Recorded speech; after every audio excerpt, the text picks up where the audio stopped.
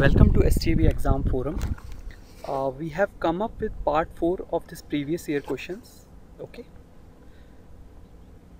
So the disclaimer first I want to give uh, all these questions are memory based and uh, these have been collected from the various source and students feedback. Okay.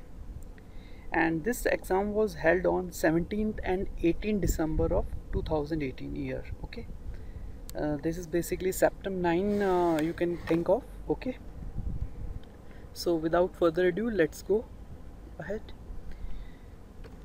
The first question which was asked uh, is the velocity of light was measured by first uh, these are the four options okay? So we will use the elimination method. Uh, as you all know that Einstein is famous for theory of relativity and Newton uh, is uh, famous for his Newton law of motion okay?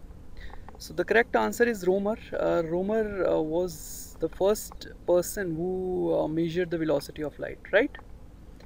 Okay so the correct answer is Romer coming to the next question uh, this is from biology. Endocrine gland responsible for the immunity okay you have to tell uh, which of the following gland is responsible for immunity? So uh, let's see one by one. The option D adrenal. As you know uh, it is uh, found on the kidneys and uh, this uh, gland generate stress hormone okay? Pituitary is a growth hormone okay? So the correct answer is option B thymus okay? So the thymus is the correct answer.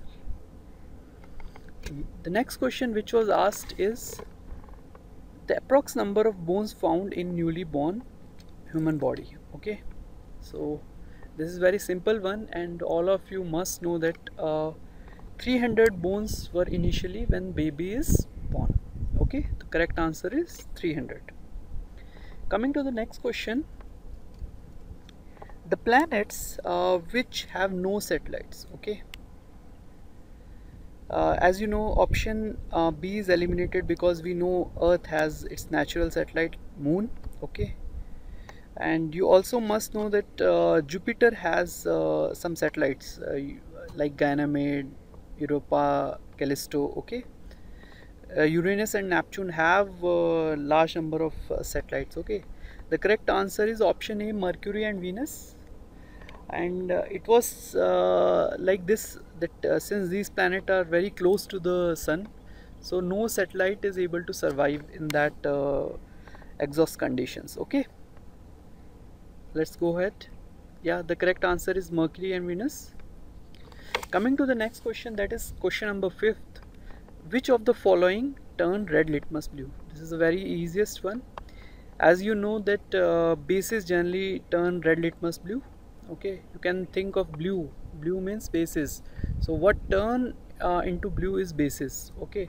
So here option a c d are uh, basically acidic in nature and option b is soap that is uh, basic in nature. Okay. So the correct answer is option c soap.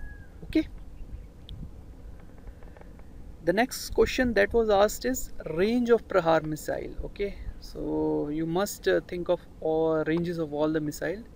So the correct answer for this question is 150 kilometers okay?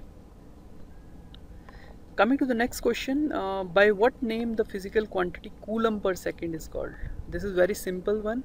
As you know that uh, current is measured in ampere and it is generally uh, denoted by coulomb per second also okay? So the correct answer is option a ampere okay coming to the next question uh, this is from chemistry okay? How many electrons are there in L shell? Okay so as you know the atomic structure there are a certain shell energy levels around the nucleus okay? So the first one is L shell LMN okay? So you must know the formula that is 2 into n power 2 okay so uh, for L shell uh, the principal quantum number is 2 as you know. So the correct answer is option B. Okay? Coming to the next question the main constituent of natural gas. Uh, you have to uh, tell natural gas chemical name. Okay so these are the four options uh, again this is very simpler one. Uh, all of you must know that methane is also known as natural gas okay?